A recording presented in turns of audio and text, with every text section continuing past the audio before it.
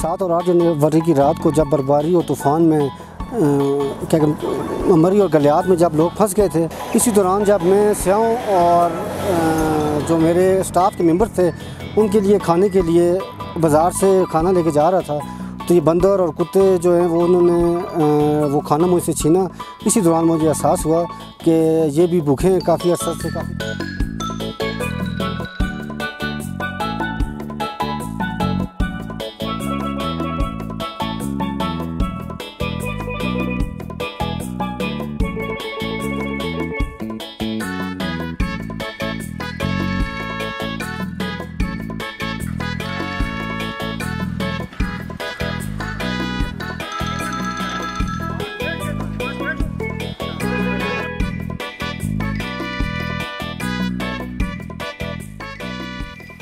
मेरा नाम मोहम्मद इमरान है। मैं एबटाबाद पुलिस की चौकी छंगला गली में बतौर हेड कंस्टेबल तैनात हूँ इस दफ़ा गलियात में बहुत ज़्यादा बर्फबारी हुई है, जिसकी वजह से जंगली अजात जिनमें बंदर, कुत्ते वगैरह, उन्होंने देहातों का रुख कर दिया था।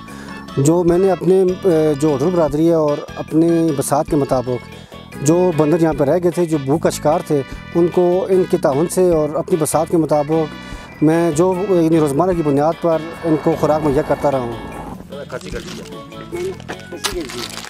मैं जब भी रूटीन की पेट्रोलिंग पे चौकी से निकलता हूँ तो मैं दुकान से इनके लिए छली अमरूक और गंदम वगैरह ले लेता हूँ। और जब इस मुकाम पे पहुँचता हूँ तो ये बंदर मुझसे इतने मानूस हो गए हैं कि जब भी सरकारी गाड़ी को देखते हैं तो उस गेट पर जमा हो जाते हैं। तो जो मेरे पास जो खुराक होती है, मैं उनको फिर डाल देता हूँ, जिससे कुछ हद तक इनकी भूख कम हो जाती है।